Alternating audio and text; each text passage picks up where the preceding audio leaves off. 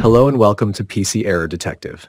In today's tutorial, we'll guide you step by step on how to insert equations in Google Slides.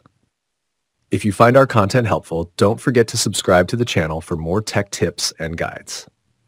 Let's get started. Step 1. Open your Google Slides presentation and navigate to the slide where you want to add the equation. Click inside the text box where the equation will be inserted. Step 2. Go to the menu bar at the top of your screen and click on Insert. Step 3. From the drop-down menu, select Special Characters. This will open a pop-up window to browse and insert various symbols. Step 4. In the pop-up window, adjust the drop-downs. Change the first drop-down to Symbol and the second drop-down to Math. This will filter the available characters to math-related symbols. Step 5. Scroll through the list of math symbols to locate the one you need, such as a cube root or a plus sign. If you can't find it quickly, use the search bar on the right-hand side to type in the symbol's name.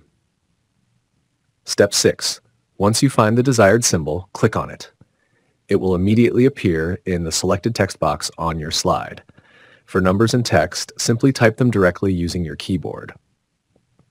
Repeat these steps for each part of your equation. To adjust and style the equation, Step 7. To reposition the equation on your slide, click and drag the text box to the desired location.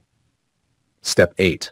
To adjust the size of the equation, select the text and use the font size drop-down menu or the plus minus buttons on the toolbar to make the text larger or smaller. Step 9.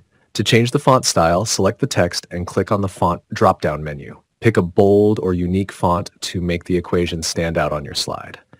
And that's it. Thank you for watching, and we'll see you in the next tutorial.